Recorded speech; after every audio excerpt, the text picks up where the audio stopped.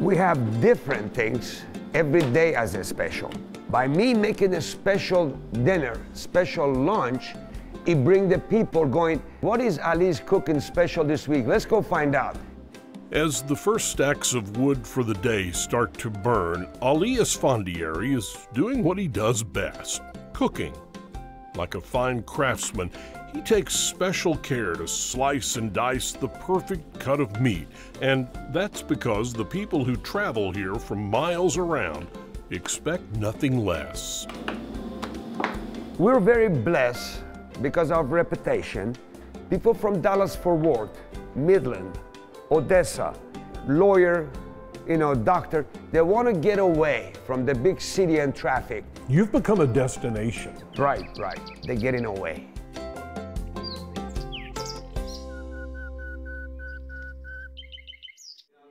How you doing, my friend? Well, you know you've made it to Albany, Texas once you reach the Beehive Restaurant and Saloon, where the air lingers with the smell of steak sizzling over a hot grill and iced tea is served in mason jars.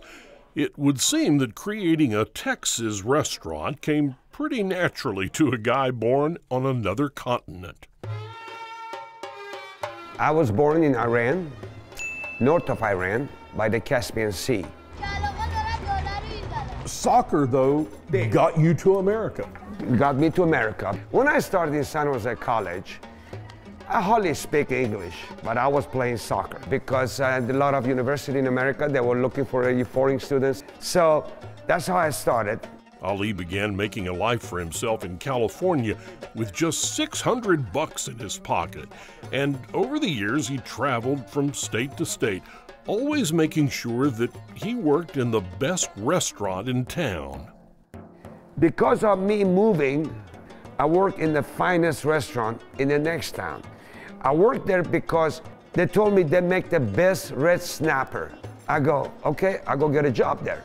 So the menu here is from many different restaurants from different part of the country. The things you learned Right. as you moved around. Yes, like today we have a schnitzel. Schnitzel is a German food. For Iranian in Texas making a German food, they come in. And come in, they certainly do. From perfectly seasoned kebabs to shrimp platters, the Beehive has a dish for just about everybody. Even Blake and Miranda grabbed a bite to eat here a time or two back in the day. And while Ali doesn't have a guest book, he does have a rather unique way of knowing just who's stopped by. What's this all about? It's just a tradition, and people come in and put a name. And the deal is, when they come back next time, they say, friend, hey, hey, I was here. Look at my name on that dollar. Oh my God, you were here. Yes, there's my proof. And everybody call it million dollar wall. Besides your food, why do people come back here? History of this place and talking to me. You're, you're quite a talker. I am. I love You've got a lot of stories. I could write a book, but God, they never finish it because there's so many pages.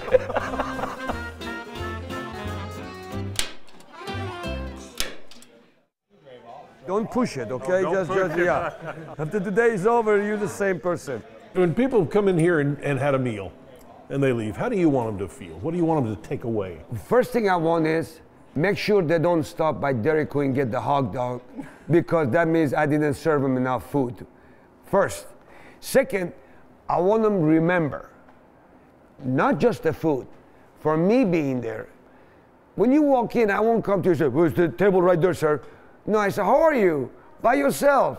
Would you like by the window? Would you like this one? No, don't sit on that chair because that's close to the door. You open the door, you get cold. You sound like a happy man. Oh, God, yes. You got to enjoy every day of the life because I believe every day above the ground is a blessing.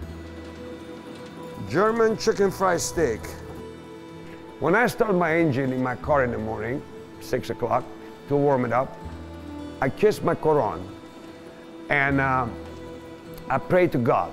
I say, God, thank you for yesterday business and thank you, you give me a chance to wake up this morning. But tonight at midnight when I go home, I shut the engine off, I pray to God again. I said, thank you for giving me one more day. But always I believe This is the greatest country in the world, land of opportunity. I had a guy tell me he came also from another country, and he told me, God blessed America too much. What do you think?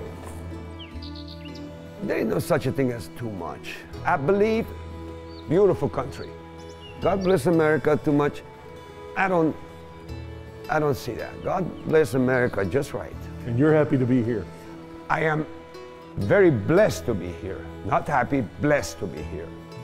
Over the years, Ali has become a true Texan and a grateful recipient of the American dream.